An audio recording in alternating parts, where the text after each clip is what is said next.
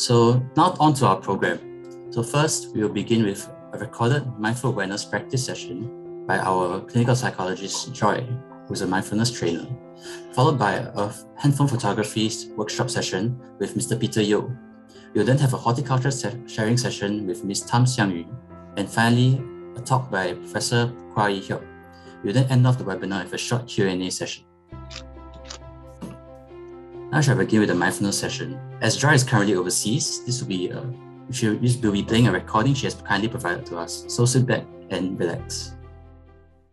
Good morning, everyone. I'm Joy, mindfulness teacher at Mind Science Center. Welcome to this mini AWE session. Let's start with a short mindful breathing exercise.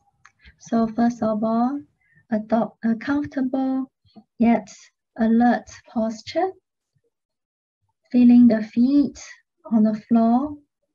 If you are sitting on a chair, feel the feet flat on the floor. And then the seat, sit bones on the chair, and lift up your spine but not too stiff.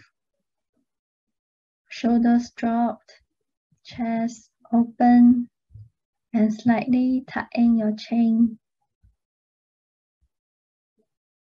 You may close your eyes or keep your gaze soft in front of you.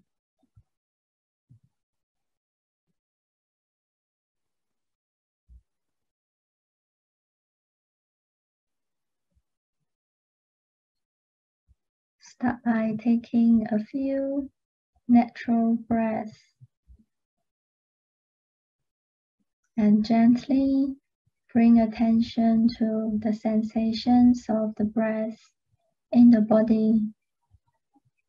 You may choose to focus on the lower abdomen, the belly, or the chest, or the nostrils, whichever point that allow you to feel the breath most.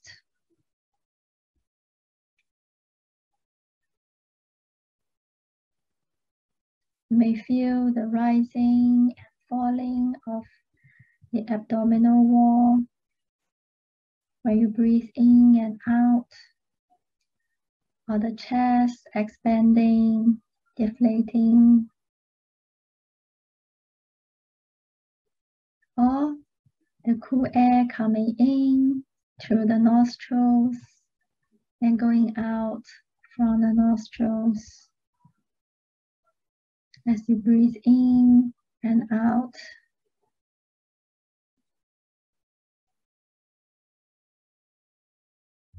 So just choose one point in the body that allow you to feel the breath, feel the sensations of the breath most vividly.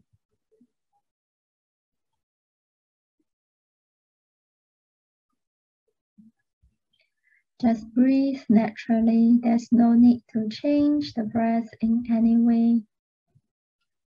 Just allow the breath to breathe itself.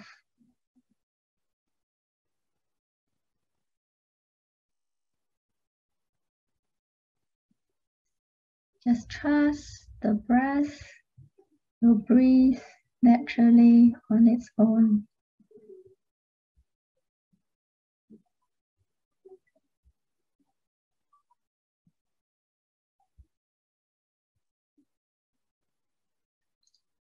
Feel the ever changing sensations of the breath in the body, the in breath, the pause in between, then the out breath. Then there's a pause in between the out breath and next in breath. Just follow the breath one by one, moment by moment.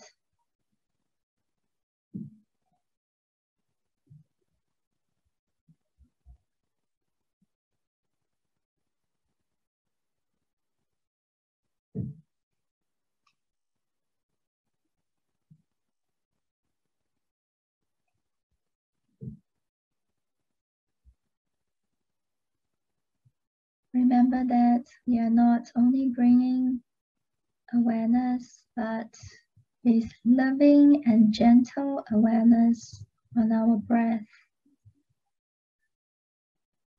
So be gentle with yourself. If the mind wanders off, that's perfectly normal.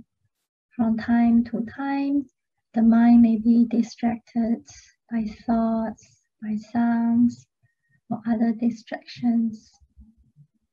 There's no need to judge. There's nothing wrong with it. Just gently acknowledge the wandering mind and bring it back gently but firmly to the chosen focus of the breath.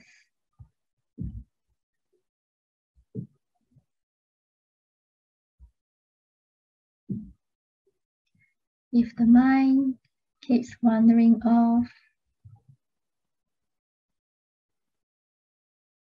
just notice and keep bringing it back to the breath again and again with patience, gentleness, and acceptance.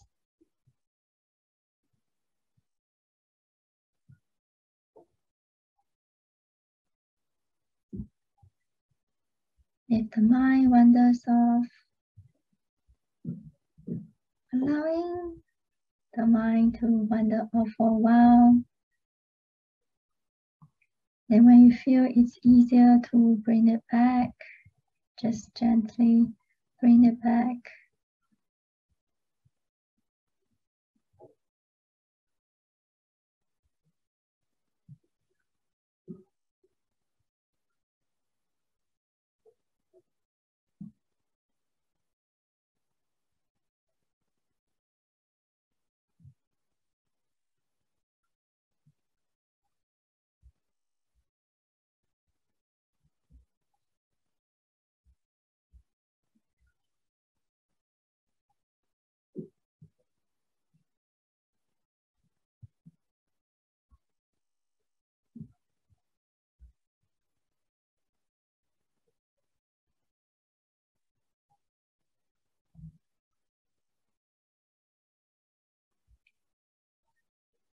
Just allowing yourself to be fully present with each breath.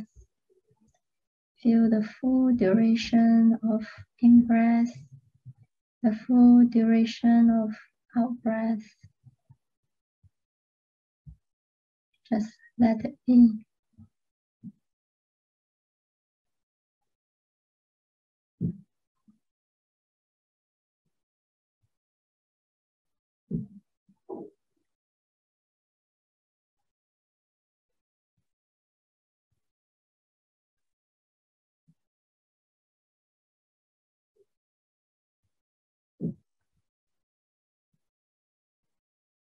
At some point of time, you may wish to expand awareness to include the body as a whole. Again, reconnect with the sensations of feet, the seat, on hands, and the whole body. Feel the whole body sitting here and breathing.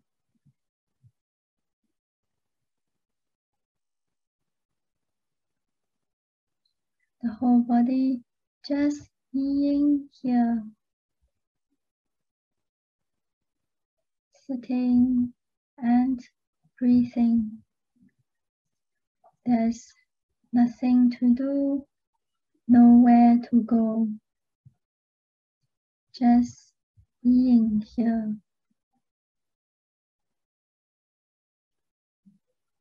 Dwelling in this moment this moment and this moment.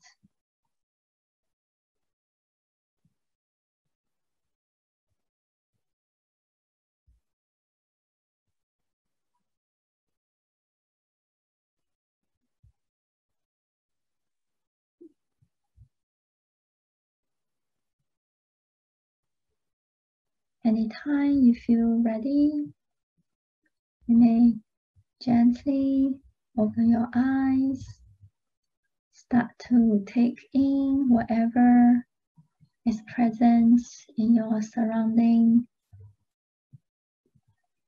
You may look around also open the ears to hear whatever sounds that is present in the here and now. And gently move your body and this practice. Come back to the session. Yeah, this is the end of this short mindful breathing practice. Thank you, everyone. Now we hope everyone is feeling relaxed and re-energized from that session. Now I would like to take the chance to invite Mr. Peter Yeo to conduct, to conduct the second part of his hand handphone photography workshop session. Peter is a former senior lecturer at Ann Polytechnic at the School of Film and Media Studies, specializing in digital photography.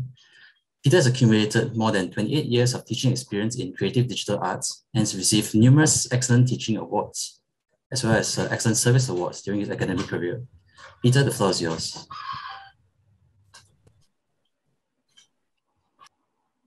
Okay, hi, good morning. I'm Peter Yeo. Uh, nice to meet you all again. I'm not too sure uh, you all have attended my first session, uh, handphone photography. But first of all, I thought it would be good if uh, we can have a good revision. Let's see, is it working? Yeah. All right, uh, because some of you may have forgotten maybe. So we have a good revision of part one. And some of you may uh, also know what we have covered in the past, right, the first session. So uh, first of all, let's look at this part. We cover about uh, handphone all handphone actually there's a built-in optical image stabilization so that uh, this chip will help you to focus your picture. But of course, all different handphone got different type of chip or different type of stabilization. Uh, that's what they, uh, makes it a bit different. So whenever possible, hold your handphone steadily, especially at a low light condition.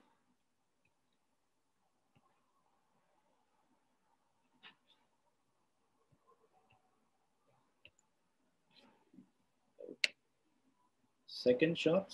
Let's see. Hmm. That's not moving.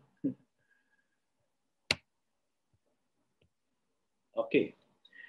Um, second thing is because our uh, handphone is so popular this day, and because it's very handy, so we can do it uh, everywhere, uh, anytime, and you can use it for selfie, and you can use it for Wi-Fi, or you can use it one hand or both hands, or even uh, with stick, right? So even this stick these days, uh, there's a remote control, and it can be used for uh, with uh, motorized as well.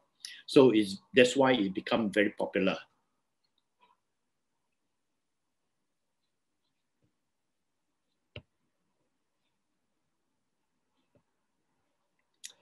Okay, the first thing that I cover last uh, sessions is whenever possible, when you are taking a picture, always pay attention to the horizon. So if uh, anytime you try to uh, straighten up your horizon or align the horizontal and vertical line.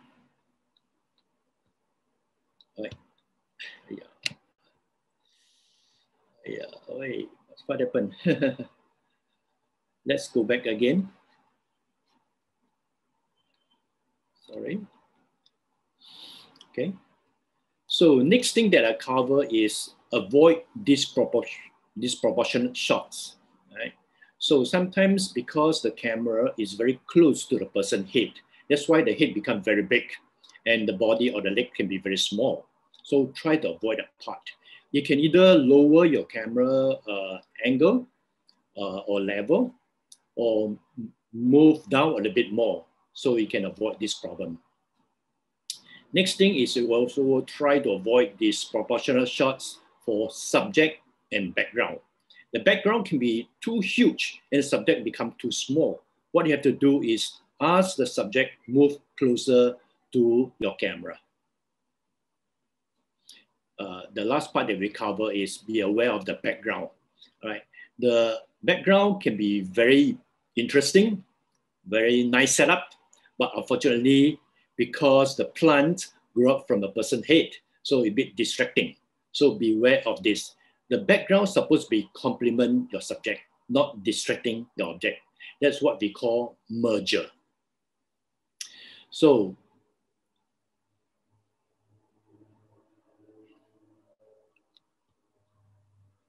the four things that we cover. One is to hold your handphone steadily. And every time when you're taking a shot, pay attention to the horizon. Uh, you straighten up the horizontal and vertical line. Three, avoid uh, disproportionate shots, especially the head and body and the subject and the background.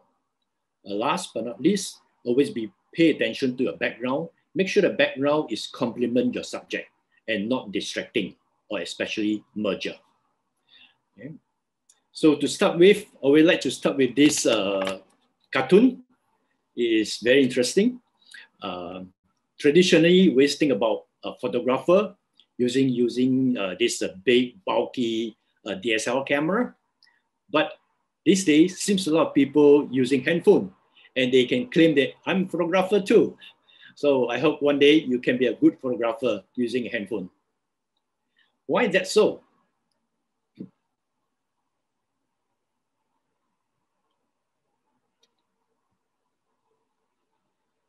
Okay, I'm not too sure you're aware of this.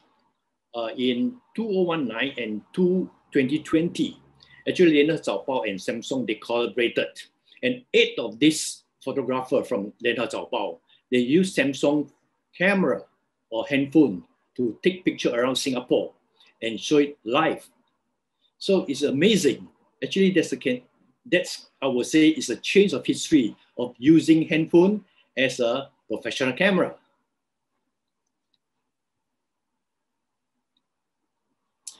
At this point of time, maybe you are thinking about, hey, what handphone I'm using? Which handphone would be good for camera work? And what's a good buy, especially? So today I'm going to introduce uh, three top models uh, in the market. Uh, I'm not saying that uh, only these three, but these three uh, models or, or, three brands that I used it before, right? One is Samsung Galaxy S21 Ultra 5G. The other one is Apple uh, iPhone 12.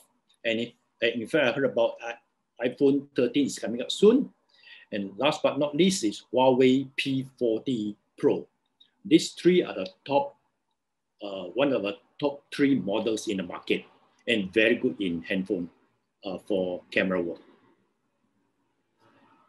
Why they are so good in camera works? I just want to illustrate a few uh, things in here.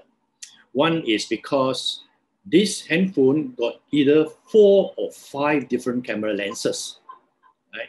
so like for instance, they have a wide angle lens. This wide angle lens is a primary lens or is the main lens that you capture your shots. But sometimes if you come to a place that uh, is a, a wide landscape uh, environment, so perhaps this one will give you an extra uh, lens they call ultra wide angle lens. So you're able to capture a landscape shot. And also uh, this camera got a telephoto lens. This telephoto lens is for you to capture something that uh, from far, but able to get a close-up shots. So like uh, this Samsung got these two uh, zoom. Uh, can be a three times zoom, can be 10 times zoom. In other words, they can get very, very close to the objects. But don't, don't mistaken, this telephoto zoom, I'm saying this is called optical zoom. It's not digital zoom.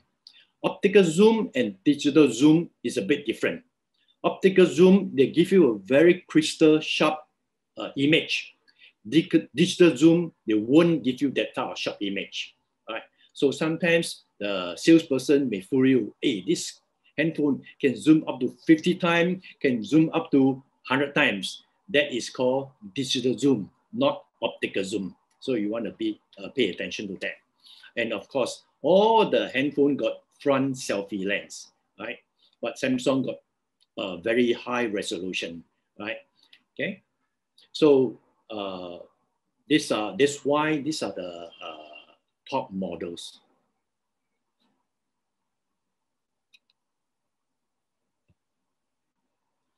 Okay, first thing that I'd like to cover is if, for instance, if my shot is slanted, what should I do?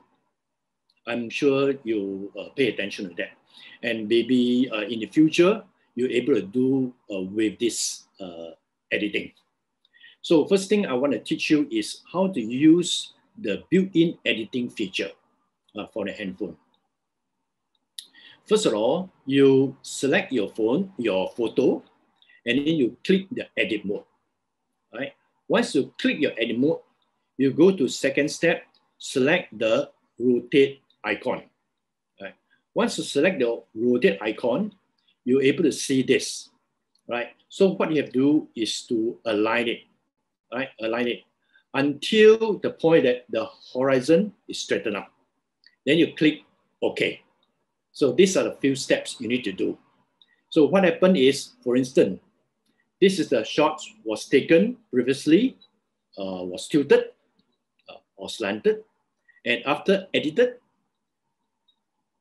what happened? You see these effects, all right? Become straightened up.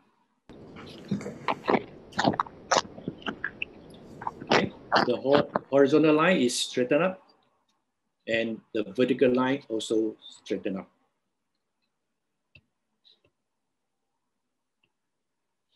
Okay, the next tips that I want to cover is uh, most of the photographer, whether you are amateur or professional, they use these composition techniques and it's very, very useful. It is called the rule of thirds, uh, the rule of thirds. And that's cover two horizontal lines and two vertical lines, right? And they are one third above and one third below. One third on the right and one third on the left. And also notice all these four lines, these are four different cross intersection. And these four cross intersections, we will try to use, make use of one of these cross intersection as point of interest. All right, let me illustrate for that. For instance, um, I come to this place, right? I'm not too sure uh, you have visited this place in uh, Hangzhou Lingyingshi, a very popular uh, and this is a landmark uh, um, statue. Where is the point of interest? If you look at the horizontal line and look at the vertical lines, right? And the point of interest will be the head of the Buddha. Right? That will be the point of interest. Let's continue. Uh, just now I saw that uh, video. Actually, uh, you all have been there uh, in Botanic Garden, and you see this uh, building over there. So the point of interest is actually is the building, right? Instead of placing the building right at the center, we try to use, put it one third, uh, using a one third rule, right? Can be on top of the intersections, right? Or on the left shots, using the uh, girl, right? The, the head as a point of interest. So it can be one third on the left and one third above the line. So that could be one third uh, rule of third. And uh, sometimes you may capture a close-up shots, right? So we will use the portrait shots and focus on the person like this uh, animal. The eye become the intersections, right? Become the point of interest. I also like to introduce a few more, like some of my own uh, photo shots. They are taken uh, from different places, right? This rooster right? Um, and where's the point of interest? It's the head of the rooster, right? And also uh, brought student to uh, oversee. This is the was uh, taken at uh, Laos. Uh, I noticed from far away, uh, this fisherman tried to uh, capture fish, right? And he's trying to uh, do some uh, uh, catching by throwing the net, right? So before uh, that, I slowly get closer and frame it nicely according to rule of third, right? So I make use of the head as the intersection point or point of interest. Again, uh, this one was taken at uh, Myanmar, right? Different type of fishermen. They use different uh, equipment to capture fish. And I use uh, a point of interest, I wanted rule. Uh, this one was a very popular uh, waterfall at Laos. And from far away, I noticed that this young guy was slowly climbing up the rocks so I quickly go in and frame it according to rule of third, and until the point that you know the shots look good, the actions look good, then I snap a shots. So I'm using rule of third. So I hope by now you get a good understanding of the rule of third and capture it with this point of interest. So what will be the takeaway for today? Only two points. One, if your shot is slanted, realign it with your horizontal line with this uh, built-in editing feature. First, you select your photo, you go to edit mode, you rotate it, align it until the lines is straightened up, then you set OK. Two, uh, every time, if possible, apply the rule of thirds, or we call it one third rule, and select the intersections that is called point of interest. Okay, towards the end, I like to end up with this uh, picture. I'm sure a lot of you still remember this very popular TV series called Have Gun Will Travel. I believe so. Do you believe so? uh, but these days, this one was in the 60s. And today's 21st century, I would say a different team.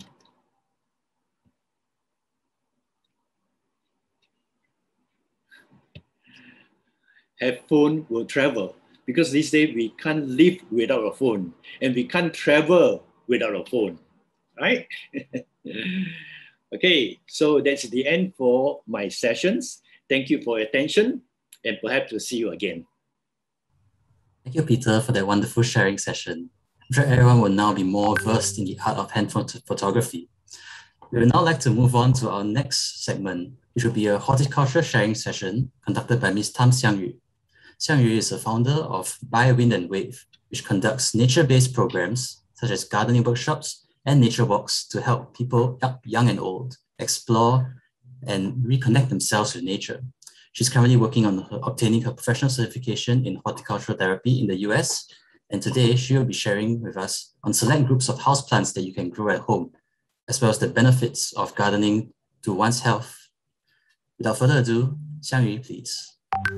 Okay, so um, today I'm just going to give you a very short sharing about uh, gardening. So as you all know, because of COVID, a lot of us have been stuck at home for a very long time, or uh, maybe because of our health conditions, uh, we haven't been able to go out a lot. So uh, I think uh, this is a time where it's all the more important for us to uh, think about ways we can um, do more at home.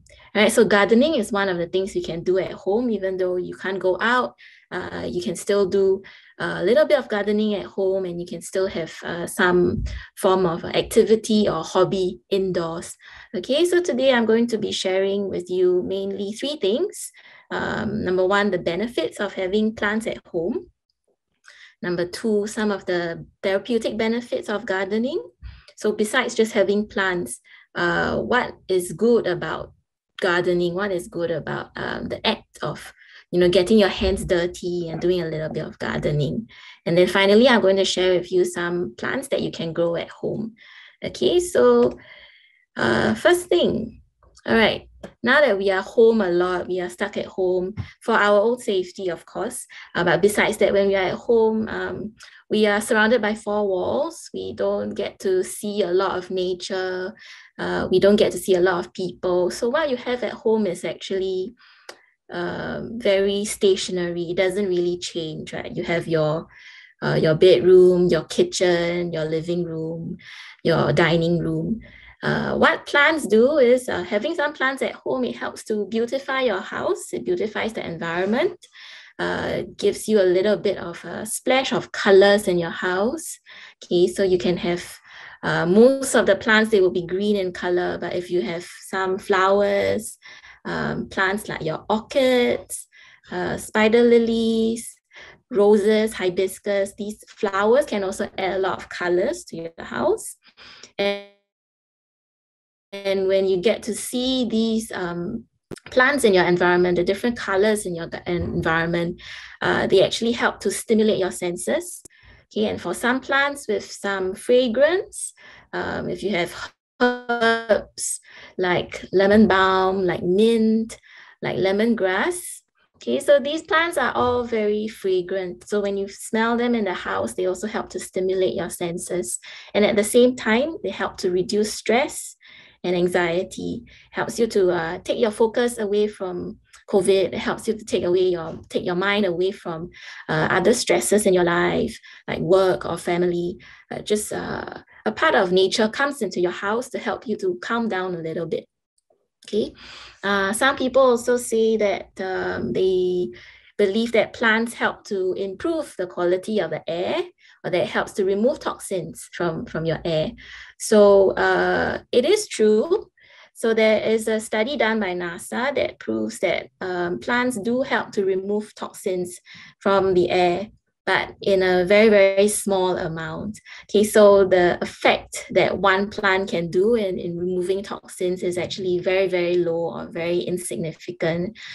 Uh, so if you really want to have plants to help uh, improve the quality of air or help to remove toxins, then you probably have to grow a lot of plants at home. Okay, so a bit like the first picture, you probably have to fill out your whole house with plants. Okay, okay so besides just having plants in the house like you can buy one pot of plant in the house and it can help to beautify the the space it can help you to uh, stimulate your senses but beyond that okay, when we take part in the act of gardening, when we actually get our hands dirty, when we take care of our plants, such as uh, using uh, when we prune our plants, when we water our plants, when we spend time even talking to our plants, uh, there are actually a lot of therapeutic benefits uh, in, this activity.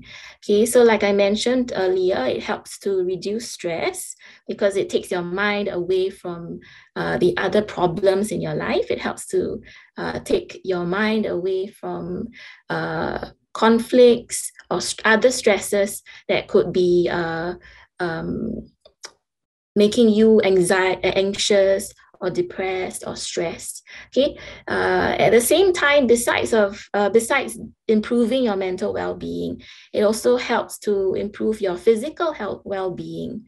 Okay. So when we are doing gardening, we use our hands a lot. Okay, be it um, mixing or touching the soil, watering our plants, pruning our plants, uh, all this involves quite a lot of uh, hand strength. Okay, you need to exercise your hands a lot. So this is one way to uh, really improve your fine motor skills, right? So uh, if you are thinking of ways to incorporate a bit of exercise or a bit of physical activity into your daily life, gardening is a very good way to do it.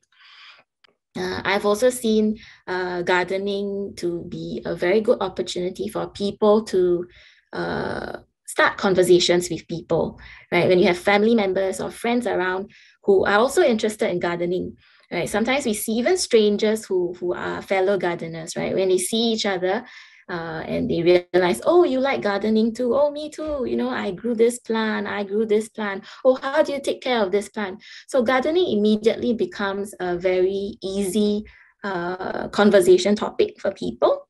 And even at home with your family and friends, even if they don't like gardening, um, plants are a very good way to introduce people to your hobby um, I have uh, worked with people who grow a lot of vegetables uh, or herbs for their family. So when you know they grow kangkong at home and they harvest the kangkong, they cook it for the family. Uh, this is something that gets the family talking also. So at the same time while we are gardening, um, I think one of the, uh, the very good outcome of gardening is it helps to build your self-esteem and your confidence also. Because um, for for many people especially when they get uh, as they age they feel that they have lost a bit of sense of purpose or they feel like um, their day-to-day activities are quite meaningless they don't serve any purpose but when you start gardening you actually see uh, growth in something. You find you find yourself taking care of a living thing, and you get to experience uh, the plant growing, uh, thriving. And if you're growing edible plants, you get to get actually get something to eat out of it. Or if you are growing flowers, then at the end of your hard work, you see, wow, the fruit of labor is the beautiful flowers Right? So this helps to build your confidence and gives you meaning in life also. Okay, so now um, we've seen how gardening can be uh, an activity that is very fun. It's an activity that helps to relax us. It's you three plants, okay, that are very easy to grow.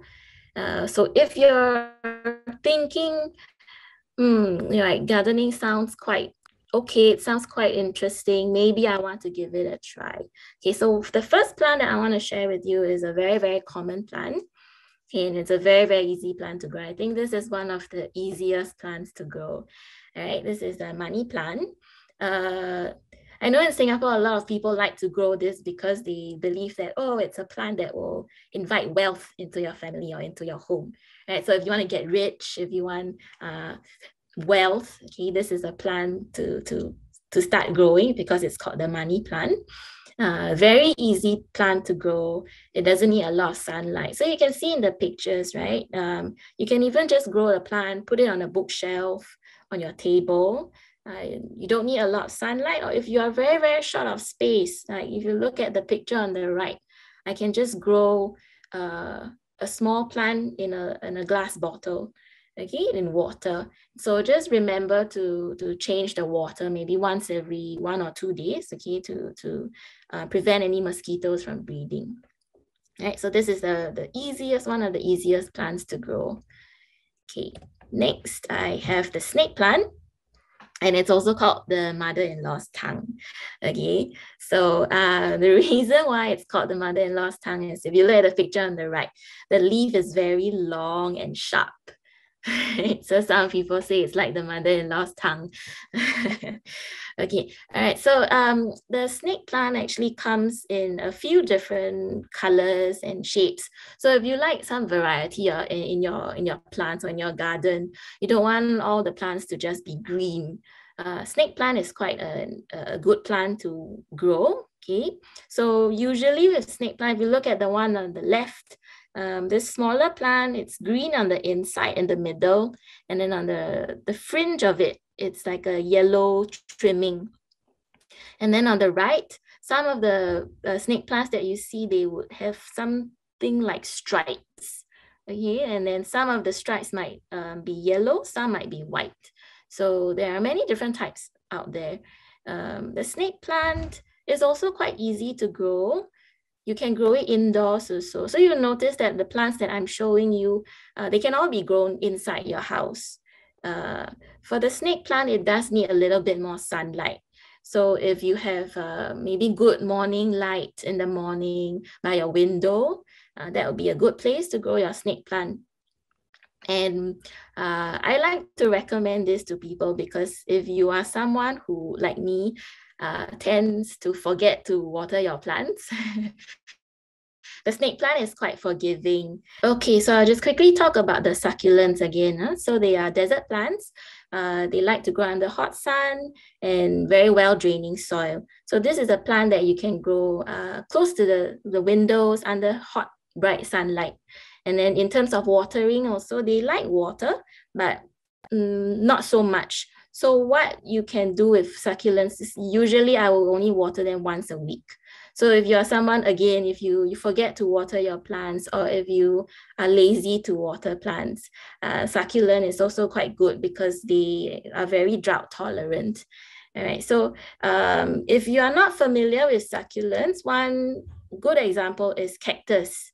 Right? Cactus is also a type of succulent. So recently in Singapore, somebody grew a three-story tall cactus. Now, hmm. okay, my slide is not changing. Okay, yeah.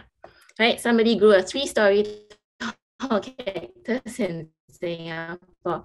So if you live on the ground floor or if you have a garden at home, maybe you can do that. Uh, but if you don't, if you live in an, apartment, then it's okay. we will not try a three-story cactus. Okay, you can always go for these really small cacti or small succulents. Okay.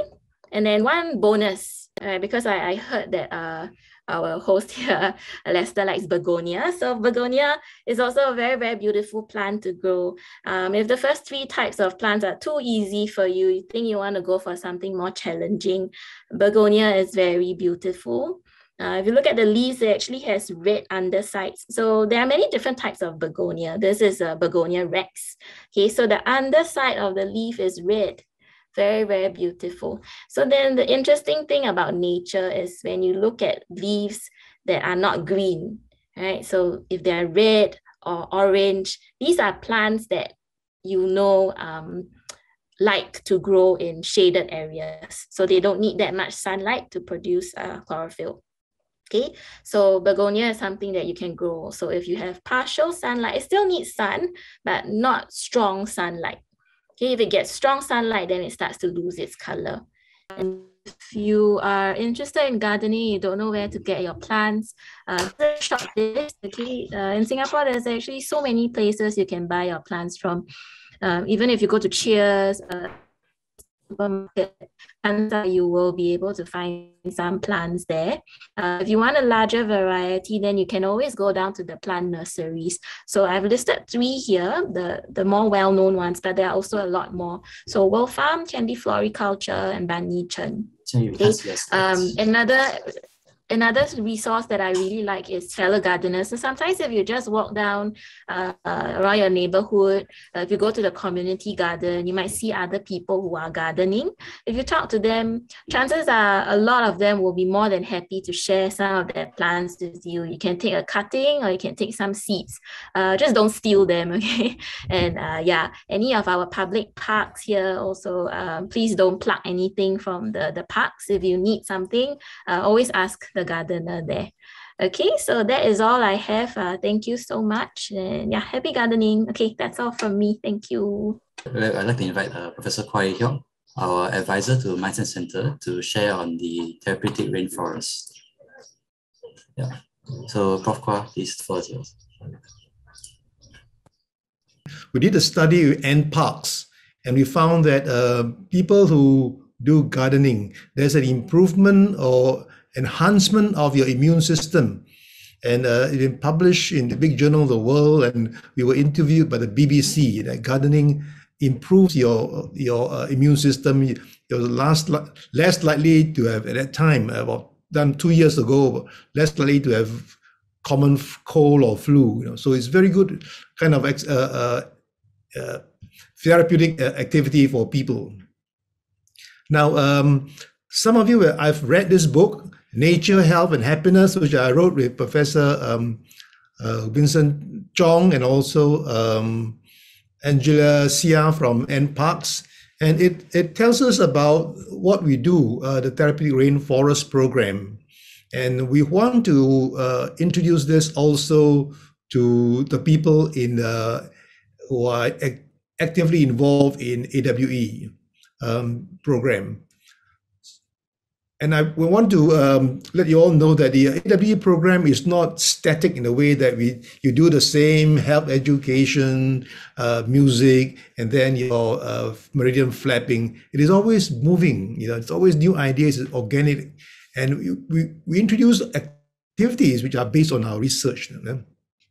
So I know uh, uh, Gopal from Queenstown and also Pang and Lily were asking me about when can we start the uh, this therapeutic rainforest? We'll we will first try to train some people, and those who volunteer to to to be trainers uh, will each be given a book. So uh, it's quite expensive, but if you volunteer to, to to help out, that's what we're going to uh, reward you with. You know, and what is so different about the therapeutic rainforest uh, compared to forest bathing or bathing in Japan or American call it a, a forest therapy. You know, we, we are doing something different, you know, because there are there are three elements to it.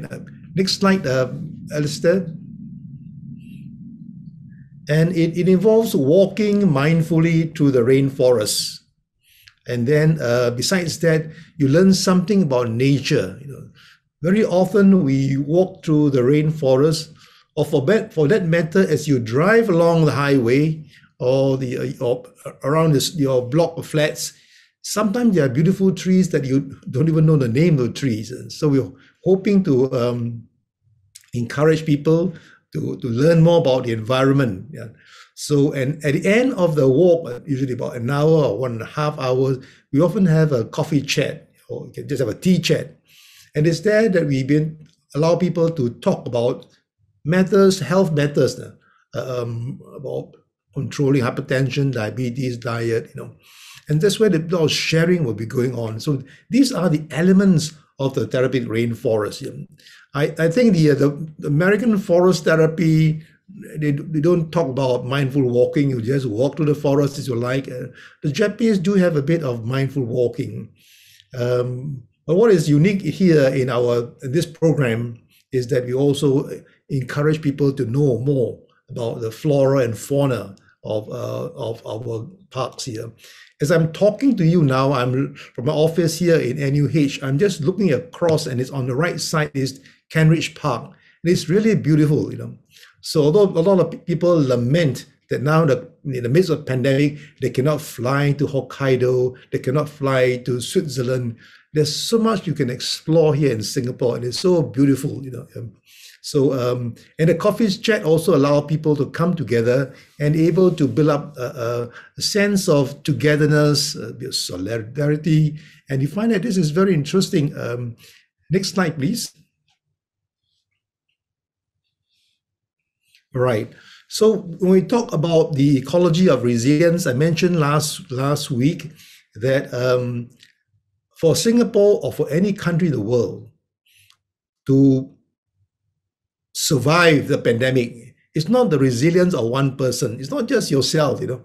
You, you just vaccinate yourself, you see, I'm okay. But it's also people around you, uh, uh, your, your neighbors, your, your colleagues, your friends, you know, and the environment that's going to, to help us to, uh, to uh, ride through the storm of the pandemic, you know. So this, this program is also about physical health. If you walk to the rainforest, Mental health, we found that in our study, most of people who walk through the rainforest begin to able to sleep better. You know, one of the one of the commonest symptoms of uh, I mentioned last week on pandemic fatigue is insomnia. They cannot sleep. People worry so much they cannot sleep. And many people who walk through this uh, this program, you see them in a picture down there. You can see the person on the left, the second, the, the, second to the left is uh, your your good friend, the late Mr. Wee Sin Tho. You know, that was taken, uh, I think, about a month or two before Mr. Wee passed away. You know, and uh, and so so the physical health, the mental health, and you sleep better, and also very importantly, the social health.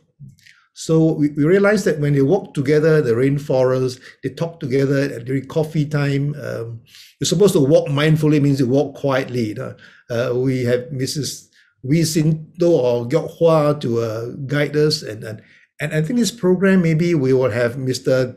T.K. Han, I think is in the audience here, uh, to help us to teach you people to walk mindfully and often to walk quietly, mindfully. And you you can listen, can hear so much from the forest itself. We learn a lot. The, the sound of birds, the sound of insects, and, and it's very, very uh, stress relieving, you know. Realize that all of them also begin to know each other better. And many people in that group, I didn't, didn't know them, you know, begin to know each other more importantly, there's a sense of compassion, a sense of empathy. They begin to take care of each other. You know, and during a pandemic now, uh, uh, one of them will volunteer to buy masks for their friends. Another will buy groceries for uh, the couple of widows and widowers in this group, and they will go. Their friends will venture out to help them out, and and even those who are ill uh, and have to take need medicine from the hospital clinics then one of them will volunteer to take medicine for them. And so that's that's very important for for the for the community that there's a sense of uh, uh, compassion and care for one another you know. And as i mentioned to you when they were having a chat in the in the during over coffee and as i talked to them and uh, and mr Wee Sin Tho would listen to them and he told me one day that the people in the group have such interesting lives you know Although they are all, now of them, they are mostly middle class people. Uh, a couple of professors, there's the bankers, the ministers, the perm sec, but most of them come from very, very poor background, and they've and they live their life. You know, uh, their life in a way mirrors the rise of Singapore from third world to first, and and it and it's, it's very inspiring. And so, Mr. Wee, before he he passed on in in, in February uh, last year, told me that I, I have to write a, a story of the lives of all these 20 people who uh, came, walked through the rainforest first. You know. So we came up with a book uh, called The Profiles in Resilience, the story, of the lives of these people. And I'm also hoping that when we start this program, uh, the, the Therapy Rainforest, for all of you in, in the, the various uh, community centers, as far as Queenstown, Eunos, Changkat, Hougang, Bishan, that you also begin to think about your own life. Then you you also have very interesting lives and and um, and you've done well in your in uh, in such so much difficulties and people some live, even living abject poverty and you have survived and then so we are hoping maybe in sometimes in, in future years there'll be a special uh, profile in resilience award for for seniors who have done so well in their lives you know, so um, and because they, they learn a lot about the forest, this group decided to donate to the end NParks because uh, we learn about the the, uh, the, the flowers and flora and fauna from a, a, a, volunteer who came along. It was at that time was Max Maxwell Ng and also Paul. And uh, the poor chap must get up early in the morning. So we decided since they help us so much, we also have the, such love and compassion for the people working there and also for the rainforest. And we donated some money to the to, to NParks. And then N NParks, chairman, Mr. Benny Lim, who last week won a, a, a big National Day award, uh, told everybody that we should we can plant 30 medicinal tree at HortPark. That's what we did. And so it's a sense of love for also the rainforest. And that's one of the, the objective of this study, that people care for the rainforest. I mentioned this project in a World Congress just uh, uh, two months ago, and it inspired a lot of interest around the world. And uh, the, the, chairman of the symposium was a chap from Brazil, and he told me that, wow, this is interesting. Uh, he said, do you know that the, the Brazilian rainforest or the Amazon rainforest is about 30,000 30, times the size of Singapore, and people are destroying it. And in fact, one third have been destroyed now. And that's one of the causes of global warming. So all of us here at Mind Science Center and here in Singapore are doing our part, you know, it's a very small part in uh, prevention of global warming by telling people that you have to treasure the rainforest, and that is the the, the crux of this of this uh, program. Is there one more last slide, uh, Alistair? That's the last one, is it? Okay, all right. So this is the last slide. You see, we never actually own the rainforest. We merely look after it for the next generation. Something that that uh, we think we should also a share with the next generation of people. Uh, before I finish off, I want to tell you that we we're hoping to launch the AW program. Uh, Alistair is helping me out, and there was also uh, Mr. Rashid, and there are two other uh, Malay uh, colleagues, uh, Aisha and Abia. They're all watching today. Uh, and if you have friends either in Punggol or in Eunos or anywhere want to join in, uh, maybe you can let Alistair know it. This for the Malay elderly that we we often uh, uh, miss out, and so we hope that um, uh, um, there will be a bigger program coming up, uh, not just on a webinar, but also we're using more the handphone. So thank you very much. So yeah, before we end, uh, yeah, just to share like some new initiatives that we have. First, our module seven, the AWE learning module seven called teaching and facilitation, facilitation is now available. And this is for those who would like to uh, join as uh, AWE volunteers to be instructors. Uh, we'll also be conducting an audit on the current, the ones who have already uh, who are already qualified as uh, instructors, but have, have not taken module seven. So uh, yeah, stay tuned for that. Uh, we also have the AWE e-learning in Mandarin, uh, fully translated for all seven modules that yeah, we mentioned earlier. So uh, the, the link to the Mandarin courses can be found in the chat. I think May has shared. Yeah, so you can look through there. Uh, uh, Peter's handphone photography workshop uh, is due to be held on the 27th of August. And this is currently a pilot for our volunteer leaders, uh, the leaders at our volunteer center, our centers. So uh, we look to expand this to uh, cater to all the seniors at our AWE centers in the future, provided co uh, COVID restrictions allow. Uh, Next is our therapeutic rainforest program. Uh, we'll be starting in uh, the volunteer training in November, as Prof. Kua has mentioned. So yes, uh, you, you can look forward to this uh, in the coming months. And finally, the AWE Train the Trainer workshop. Uh, this the, for those current uh, current instructors who would like to take the chance to be a AWE trainer. This workshop will be for you, and it will be due to be held in November as well. Okay. So uh, before we end, also we'll appreciate your feedback uh, you can scan the QR code here. So yeah, just use your phone. I give you like a short while to scan the code first, or you can even use the URL. Thank you for attending this uh, uh, short AW webinar. Uh, I, I know that we're all exiting from title alert now, so it's very good to look forward to. Right. So thank you everybody for attending and uh, have a good weekend. Thank you. Thank you. Thank you so much.